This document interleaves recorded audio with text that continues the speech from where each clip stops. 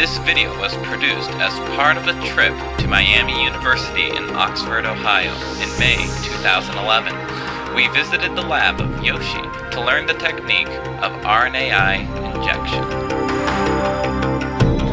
The red flour beetles used for these injections live and reproduce in flour. So the first step is to sift the beetle cultures to isolate just the larvae. And then the idea is kind of simple. You just dump it and sieve it and put it in here isolate larvae. But the thing is, these old larvae try to actually go through this mesh really quickly. So if you wait even like 10 seconds, you get a massive amount of larvae like stuck in there, and you have to spend an hour like yeah, one by one. So that's kind of pain. So to avoid that, you what you have to do is just keep moving, just keep shaking. So that's a little tricky.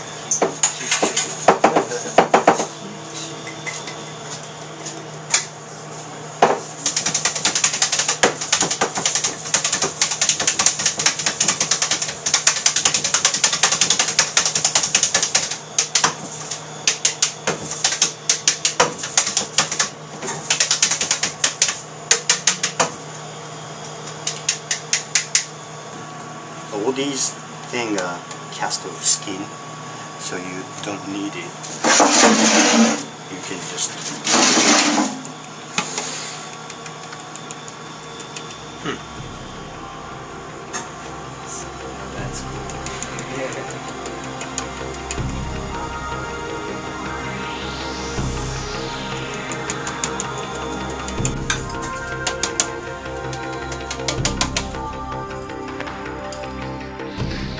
After collection, larvae of the correct stage for injection must be selected by observing GFP expression under blue light.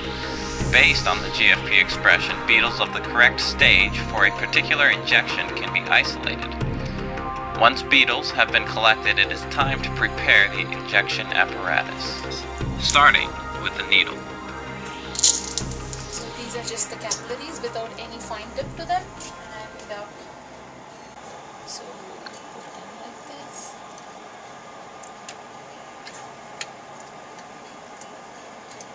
I usually make sure it just goes a little bit in and tight it and close it tightly. Okay. Just a little bit. Uh-huh.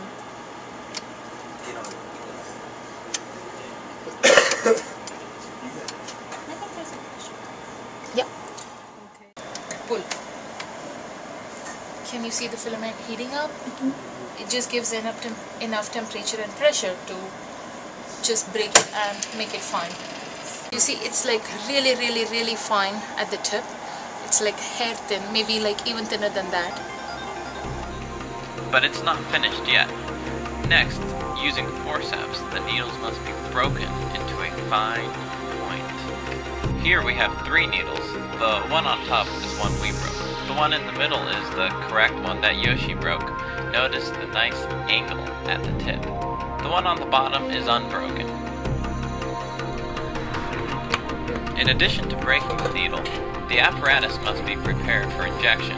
To do this, the double-stranded RNA, as well as the buffer, must be loaded into the needle.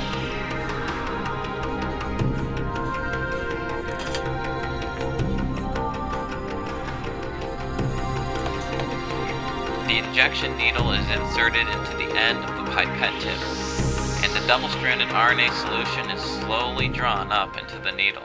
Here you can see Rainey doing it in action. slowly and kind of stopping and letting it see because sometimes it'll just keep moving by itself and i think the point is to stop about right there don't you think so there's space Yeah, so you can tell that you're not going up into the tube.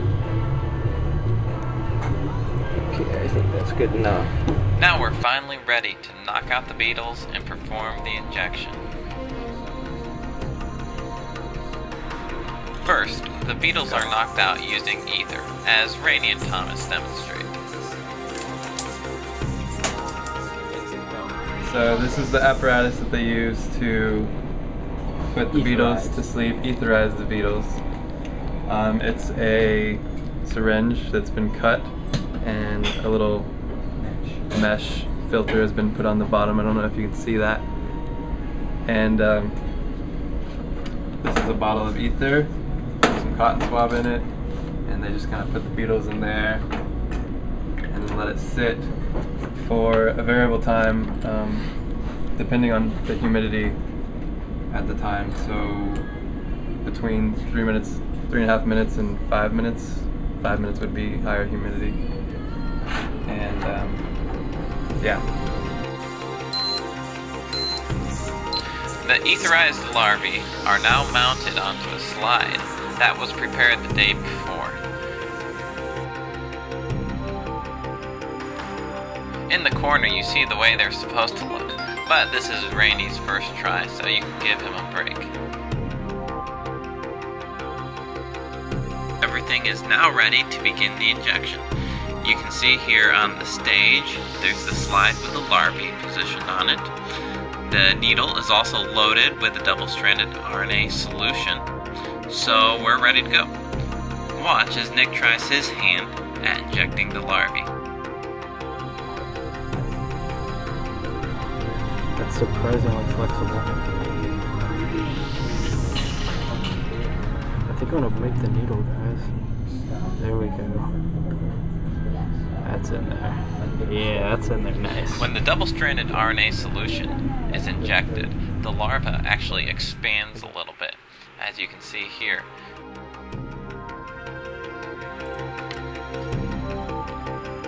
Once the needle is removed, you can move on to the next one.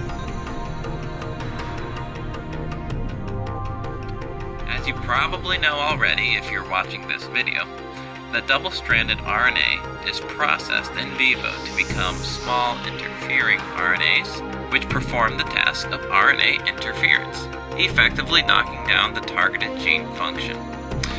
Yoshi and his lab have demonstrated just how useful this injection technique can be in studying gene expression in Tribolium.